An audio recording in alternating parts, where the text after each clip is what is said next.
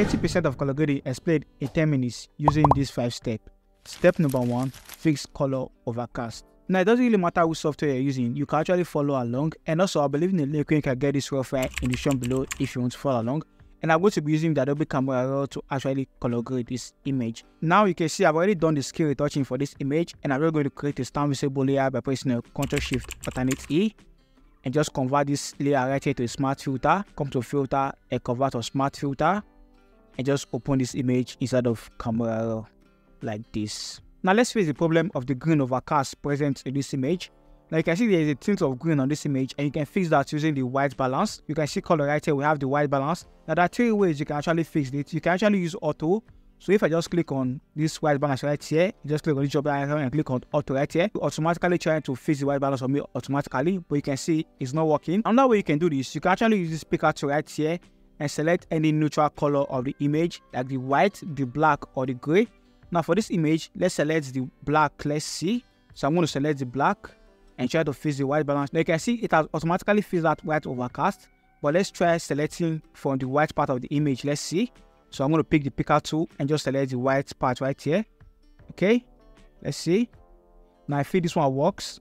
Alright. So the before and the after or you can do it manually. So let's bring it back to as short and do it manually. So if you want to do it manually, since there's green overcast, just come to the tint and just move it towards the magenta side like this all right and also move this part towards the warm side like this to just try and face it manually like that so this is the before and the after all right so that's how you can actually fix overcast colors on your image using white balance and step two is the color grading wheel now with the color grading wheel you can actually add specific color to your shadow area your midtones area or your highlight area or better still you can add colors to the overall image all right so just come to your color grading wheel right here and you can see we have two wheels right here. You can do it single. So if I click here, you can see we have the shadow, we have the midtones, and we have the highlights. You can do it single or you can just do everything by clicking this three wheel right here and just bring all of them inside one layer like this. So I prefer to use mine like this. Now for this image, I'm going to add blues to the shadow area. So I'm going to move my blues towards the shadow area like this.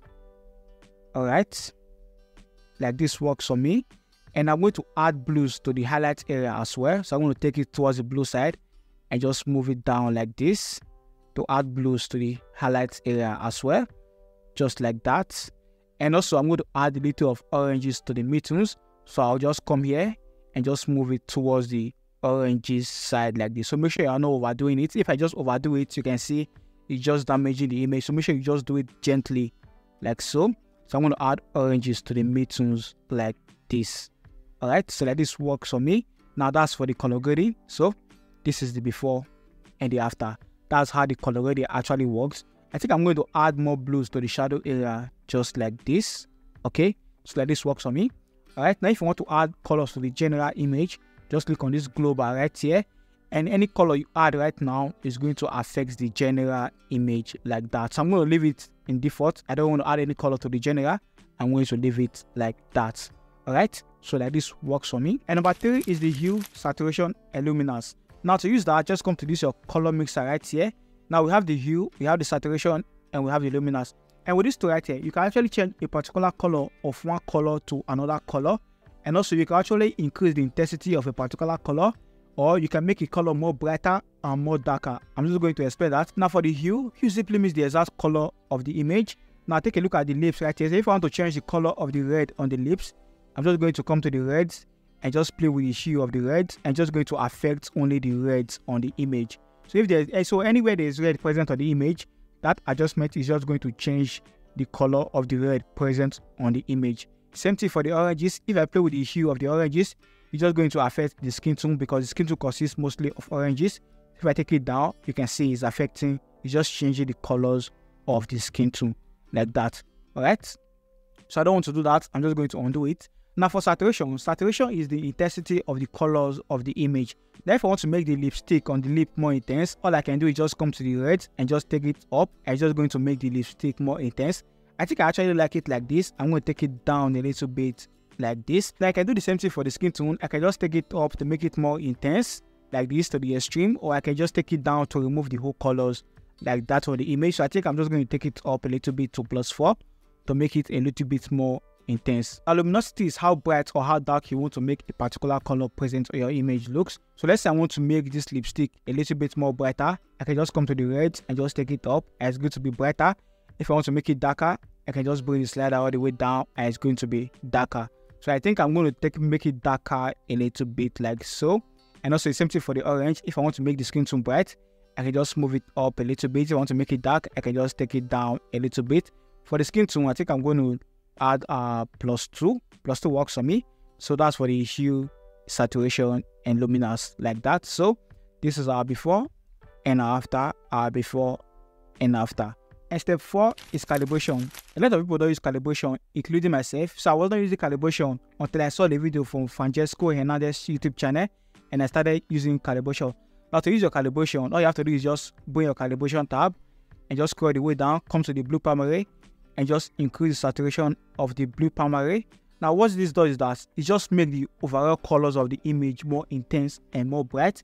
And this affects mostly the oranges and the blues. Now to fix that, if you want to remove the effects from the blues and the oranges, just come back to your color mixer, come to your saturation tab right here. Just come to the oranges and just take the oranges slider down. And also come to the blues and just take the blues slider down to balance that calibration right there. Now I'm having a problem what if I want to apply a specific color to the background of this image and I don't want it to affect the subject? That brings us to step number 5 which is masking. Now masking is good to make local adjustment to a specific part of your image. Now to use that all you have to do is click on your mask icon right here. Click on masking. Once I click on masking, now I want to add blues to the background. All I have to do is click on background right here. I'm just going to select the background for me automatically. I'll just scroll down got my color under temperature you just move it towards the blue side like this a little bit. Now what if i want to add blues to the shadow area on the clothes? What i can do is come back to create mask click on select subject. And from here photoshop ai will automatically detect the subject for me. And not just detect the subject it's going to break the selection down. So i can select only the face only the body skin only the lips only the teeth. I can select only the hair and also select only the clothes now, since I want to add blues to the clothes area, I'm just going to select clothes and click on create mask. Once I create mask, now only the clothes is selected. I'm going to scroll all the way down and just add blues to the shadow areas on the clothes parts. Alright, now what if I want to change the color of the eyes? How will I do that? To do that, I'm going to come to create mask again, click on select people, and this time I'm going to click on iris and pupils right here and click on create.